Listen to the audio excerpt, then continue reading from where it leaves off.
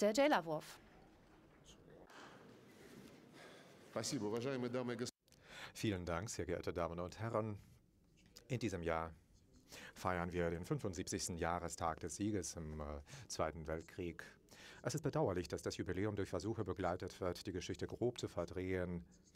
Nazi, Henker und Befreier Europas auf eine äh, Stufe zu setzen. Aber diese Versuche wollen wir dem Gewissen derer Urheber überlassen. Nichts und nicht, niemand kann die entscheidende Rolle der Roten Armee aller Völker der Sowjetunion bei der Zerschlagung des Faschismus herunterspielen. Dabei werden wir stets an den Geist der Bündnispartnerschaft in den Zeiten des Krieges erinnern, an die Fähigkeit der Staaten erinnern, sich zusammenzutun im Kampf gegen die gemeinsame Bedrohung ohne äh, Ansehen der ideologischen Meinungsverschiedenheiten. Die Geschlossenheit Offenheit dieser Art fehlt uns heute, wenn Bedrohungen und Risiken so hoch sind wie nie zuvor in der Nachkriegszeit. Vor unseren Augen brückeln Vereinbarungen zur strategischen Stabilität und Nichtverbreitung.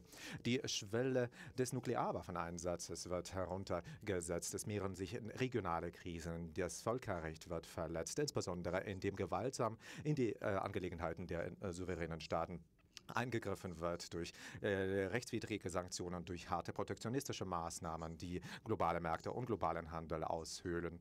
Es findet, äh, wenn ich so sagen darf, eine Barbarisierung der internationalen Beziehungen statt, die das Lebensumfeld des Menschen belastet.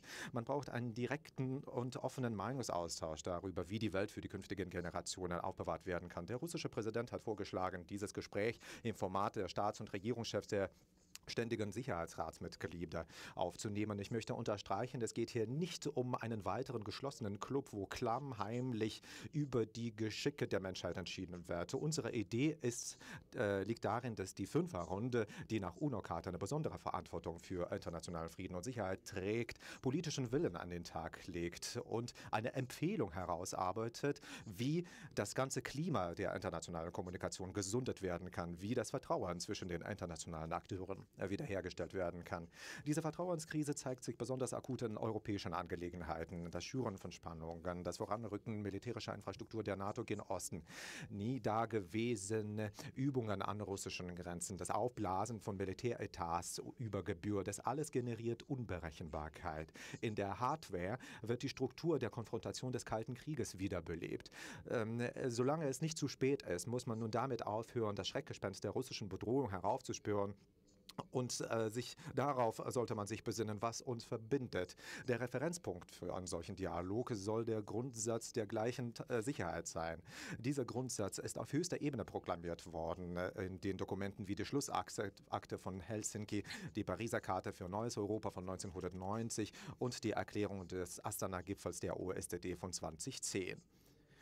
Äh, gegenwärtig ist die Stabilität im euroatlantischen Raum nicht zu gewährleisten, ähm, wenn man nicht global kooperiert im Kampf gegen den internationalen Terrorismus, illegale Migration, äh, Menschenhandel und sonstige grenzüberschreitende Bedrohungen. Viele von ihnen sind gefährlich und bedrohlich geworden infolge von blutigen Konflikten im Nahen Osten und Nordafrika. Die internationale Gemeinschaft steht in der Pflicht, günstige Rahmenbedingungen dafür zu schaffen, dass alle Völker dieser Regionen äh, selbst die Probleme lösen durch inklusiven nationalen Dialog, ohne dass von außen da eingegriffen wird. Aus meiner Sicht ist es unzulässig, die Gebiete dieser Länder zum Schauplatz geopolitischer Konfrontationen und Abrechnungen werden zu lassen. Genauso dürfen die Terroristen nicht genutzt werden, um eigennützige Ziele zu erreichen. Ne, in der Geopolitik, ausgehend vom Völkerrecht, wird Russland auch in der Zukunft dazu beitragen, dass eine Lösung in Syrien im Rahmen des Astana-Formats und der Mechanismen der Vereinten Nationen gefunden wird. Wir wollen die Ansätze der libyschen Konfliktparteien annähern und das äh, ist der einzige Weg der Wiederherstellung der durch die NATO zerstörten zerstörten staatlichen Strukturen dieses Landes. Eine Normalisierung der regionalen Situation soll dadurch herbeigeführt werden, äh, dass das russische Konzept der kollektiven Sicherheit am Persischen Golf realisiert wird. Und natürlich werden wir uns dafür einsetzen, dass man ausgewogen nach einer Lösung für den palästinensisch-israelischen Konflikt äh, äh sucht, mit Blick auf die bestehenden völkerrechtlichen Verpflichtungen. Wir werden uns dafür einsetzen, dass die juristisch verpflichtenden äh, Beschlüsse zum iranischen Nuklearprogramm nicht durch illegitime einseitige Aktionen ersetzt werden. Man darf es nicht zulassen, dass neue Durchbruchstechnologien die globale Stabilität beeinflussen, äh, negativ beeinflussen. Äh, darauf sind die Initiativen angelegt, einen wettrüsten Weltraum ähm, äh, zu verhindern, eine Militarisierung des Cyberraumes zu verhindern. Wir sind bereit, auch in Bezug auf weitere akute Probleme der globalen Agenda äh, zusammenzuarbeiten, zu denen die epidemiologischen Bedrohungen gehören. Äh, in diesem Zusammenhang möchte ich den verantwortungsbewussten Ansatz Chinas Hinweis zur internationalen Kooperation hervorheben, ähm, äh, wenn es darum geht, gegen Coronavirus zu bekämpfen zu kämpfen. Äh, die globalen Herausforderungen sind so groß, dass die Staaten sie meistern können, nur wenn sie sich zusammenschließen und sich an die Grundsätze der wahren Multilateralität halten. Ähm, sie dürfen unter der Flagge der Multilateralität nicht ihre eigenen Regeln aufzwingen und äh, Sekretariate internationaler Organisationen privatisieren. Ein himmelschreibendes Beispiel dafür ist die Situation in der Organisation für das Verbot chemischer Waffen. Es ist wichtig, diese gefährlichen Entwicklungen zu stoppen und die Grundsätze der UNO-Charta zu erneuern, einschließlich der souveränen Gleichheit von Staaten und der Nichteinmischung. Alle Grundsätze der UNO-Charta müssen gleichsam äh, von Mitgliedern äh, von äh, der Führung der Vereinten Nationen und äh, sonstigen internationalen Organisationen respektiert werden. Neben der UNO sind im globalen Management auch flexible multilaterale Mechanismen gefragt, die eine positive Tagesordnung nach vorne bringen. Und sie äh, versuchen, eine Balance von Interessen zu erreichen. Das ist die G20, der BRICS-Rahmen. Die Besetzung dieser Organisationen widerspiegelt die kulturelle und zivilisatorische Vielfalt der modernen Welt. Zu Ansätzen äh, zu Problemen in Eurasien äh, tragen die SCO, die Eurasische Wirtschaftsunion, die Gemeinschaft unabhängiger Staaten, die Organisation äh, des Vertrages für kollektive Sicherheit bei. Der russische Präsident Putin hat die Initiative vorgebracht, einen großen eurasischen Partnerschaftsraum zu gestalten, der offen wäre für alle Bündnisse und Staaten unseres immensen Kontinentes, einschließlich der europäischen Mitgliedsländer. Sehr geehrte Kolleginnen und Kollegen, Russland war und bleibt Gegner von gewaltsamen ähm, äh, Maßnahmen und Anhänger von politischen und diplomatischen Mitteln, mit denen Meinungsverschiedenheiten beigelegt werden. Ihre Entstehung ist unausweichlich aufgrund des menschlichen Naturells. Doch der Friede fällt nie vom Himmel. Dafür braucht es immerwährende, mitunter schwierige Kraftanstrengungen. Ein herausragender äh, Wissenschaftler, Nuklearforscher, der Friedensnobelpreisträger, Andrei Sacharow sagte einmal, ich möchte zitieren, der Nuklearkrieg kann aus einem konventionellen Krieg erwachsen und der konventionelle Krieg erwächst bekannterweise aus Politik. Ende des Zitats. Es ist schwer, dem zu widersprechen. Diplomaten, Politiker, die ganze internationale Gemeinschaft, einschließlich alle hier Anwesenden, tragen die Verpflichtung, für den Frieden einzustehen. Ich bin überzeugt, dass wir diese Aufgabe meistern können, wenn wir verantwortungsbewusst an sie herangehen. Vielen Dank für Ihre Aufmerksamkeit.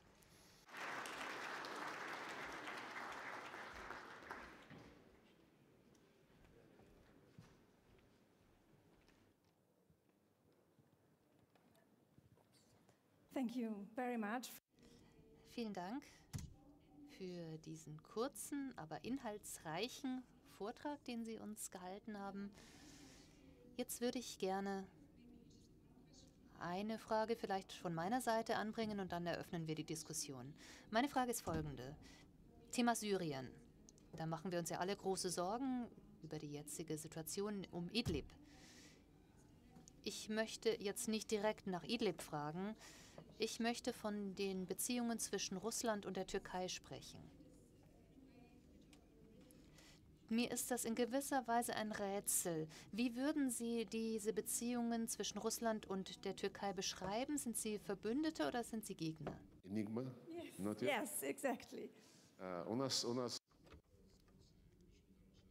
wir haben ein sehr gutes Verhältnis zur Türkei. Das bedeutet aber nicht, dass wir in allem miteinander übereinzustimmen haben. Generell bin ich der Meinung, dass es keine vollständige Übereinstimmung geben kann in Bezug auf irgendein Problem äh, zwischen irgendwelchen Ländern. Wenn es sowas gibt, erinnert das so ein bisschen an eine Druckausübung, infolge derer eine solche äh, Übereinstimmung sich ergibt. Ich möchte Sie daran erinnern, dass der Konflikt in Syrien ähm, im Rahmen des arabischen Frühlings ausgebrochen ist, als Libyen äh, zerstört wurde. Man äh, hätte Tunesien fast zerstören können und andere Länder der Region. Und die Extremisten, terroristische Elemente, haben damals Damaskus de facto belagert. Das war im Jahr 2015, im Sommer 2015. Und damals dachte niemand an irgendwelche humanitären Normen. Damals dachte niemand an irgendeinen politischen Prozess. Alle haben eine politische Lösung, äh, eine militärische Lösung abgewartet. Die äh, in den Sturz von Bashar Assads Regierung münden ähm, äh, sollte. Und auf Bitte dieser legitimen Regierung äh, hat die russische Föderation eingegriffen und wir konnten die syrische Regierung, die syrischen Streitkräfte dabei unterstützen, einen Wendepunkt zu erreichen, vor allem im Kampf gegen den Terrorismus. In einer bestimmten Phase haben wir uns auf die Aktivitäten der Organisation der Vereinten Nationen verlassen. Äh, es gab den Genfer Prozess, an dem ich unmittelbar zusammen mit John Kerry beteiligt war. An diesen Bemühungen haben wir beide teilgenommen. Man hat Gespräche ähm, eher schlecht als recht vorangebracht, aber irgendein positives Ergebnis konnte man nicht erreichen.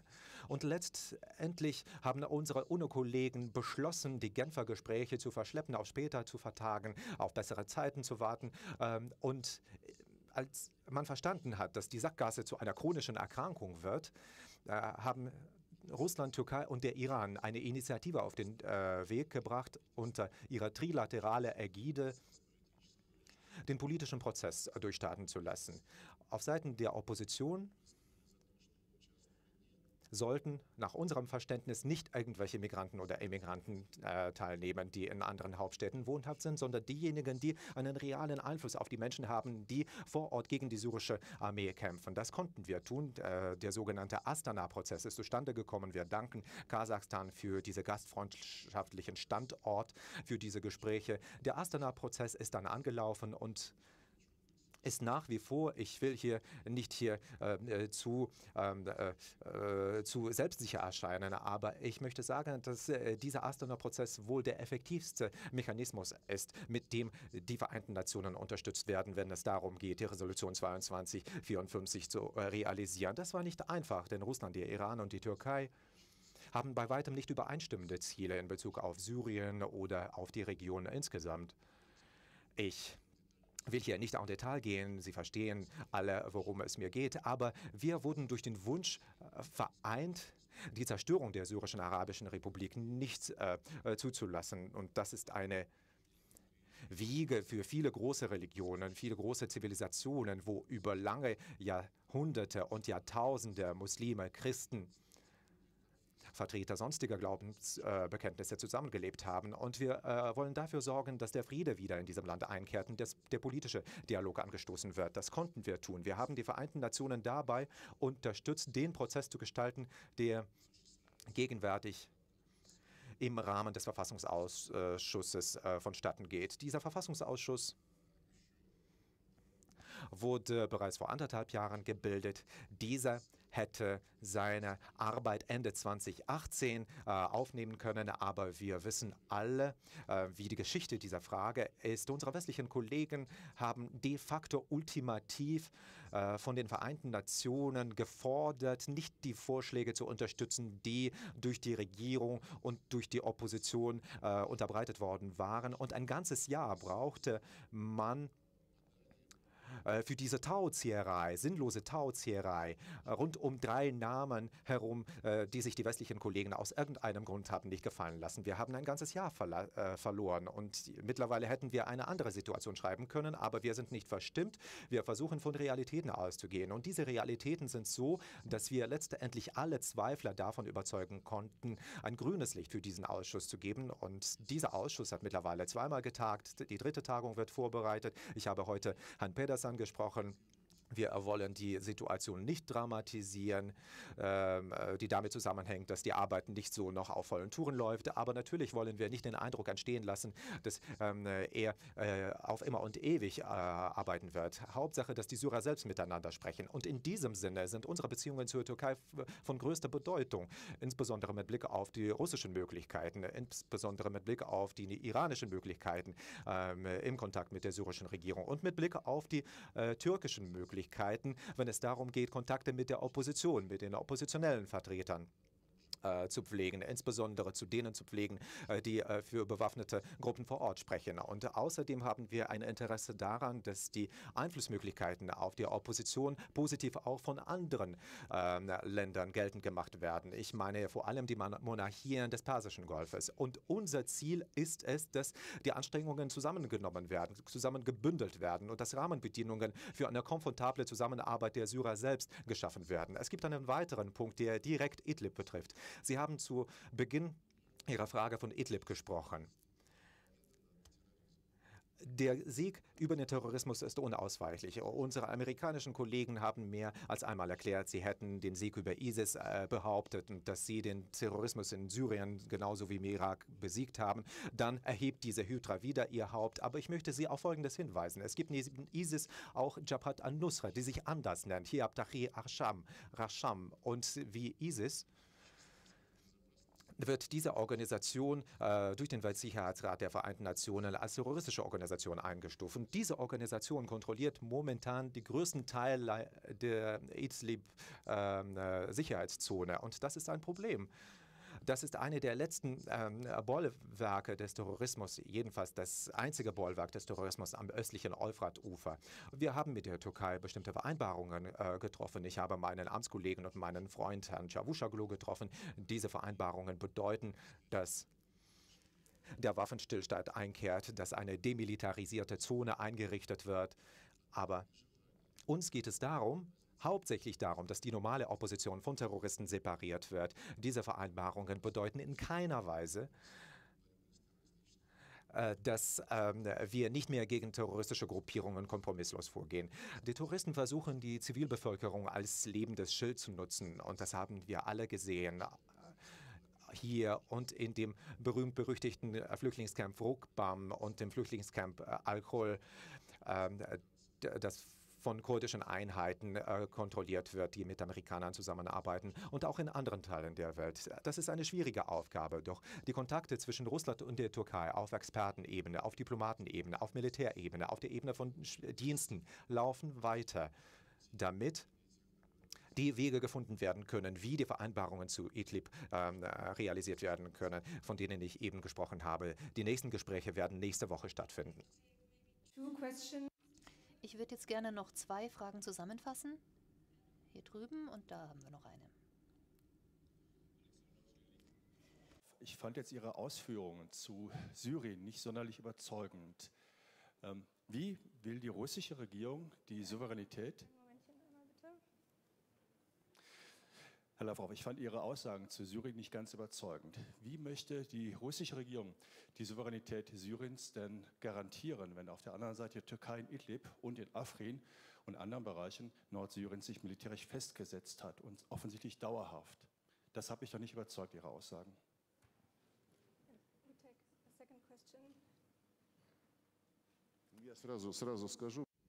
Ich würde äh, Ihre Antwort gleich beantworten, denn das ist eine einfache Frage.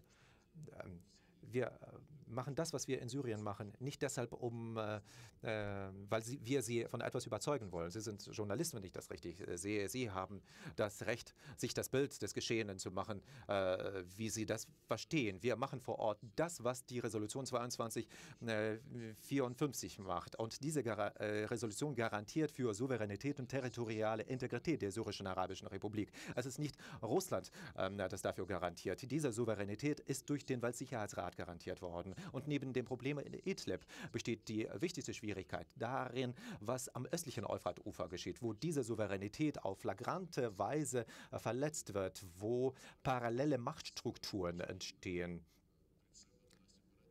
äh, wo separatistische Entwicklungen geschürt werden. Und äh, mit unseren amerikanischen Kollegen, die am östlichen Euphrat-Ufer ihre Präsenz aktiv aufrechterhalten, sprechen wir darüber.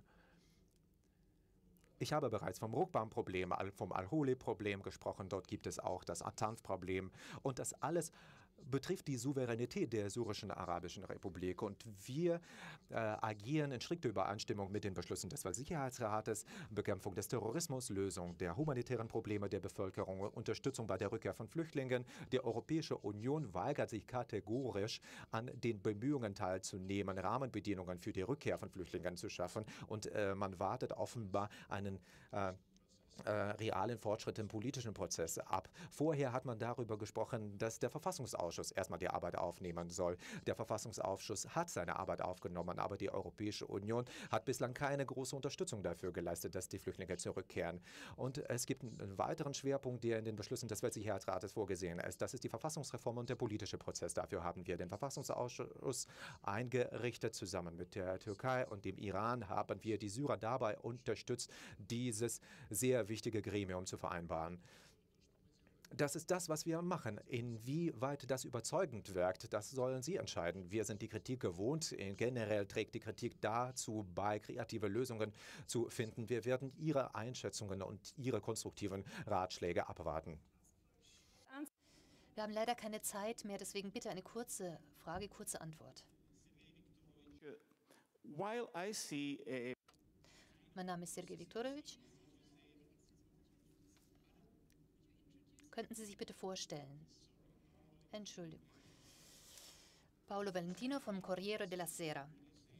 Ich äh, sehe da eine Unstimmigkeit, wenn Sie von Syrien sprechen. Sie sprechen von der Integrität, äh, territorialen Integrität und Souveränität. Aber wenn Sie sich Libyen ansehen, da unterstützen Sie nicht die von der UNO anerkannte Regierung, sondern Sie unterstützen jemand anderen, nämlich General Haftar. Und äh, er möchte ja äh, das Land teilen.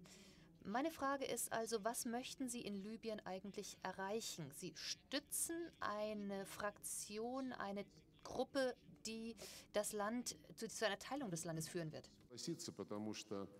Ich muss Ihnen widersprechen, denn General Haftar und die libysche Nationale Armee, die er ähm, leitet, äh, sind durch den Weltsicherheitsrat als Konfliktpartei eingestuft worden und anerkannt worden. Und auf der jüngsten Berlin-Konferenz wurde das erneuert und der Weltsicherheitsrat hat die äh, Beschlüsse der Berliner Konferenz begrüßt und hat die beiden, Sarraj und Haftar, dazu aufgerufen, den Waffenstillstand einzuhalten Äh, und Vereinbarungen zum wirtschaftlichen Leben des Landes zu realisieren und den politischen Prozess anzustoßen. Verfassungstäter pp. Haftar ist ähm, äh, kein Separatist. Äh, das ist ein von internationaler Gemeinschaft, einschließlich der Berliner Konferenz, einschließlich des Weltsicherheitsrates, ist eine äh, anerkannte Konfliktpartei in einem Konflikt, der angefangen wurde, als man den Staat namens Libyen zerstört hat, infolge einer absolut rechtswidrigen Aktion, die durch die Nordatlantische Allianz 2011 äh, losgetreten wurde.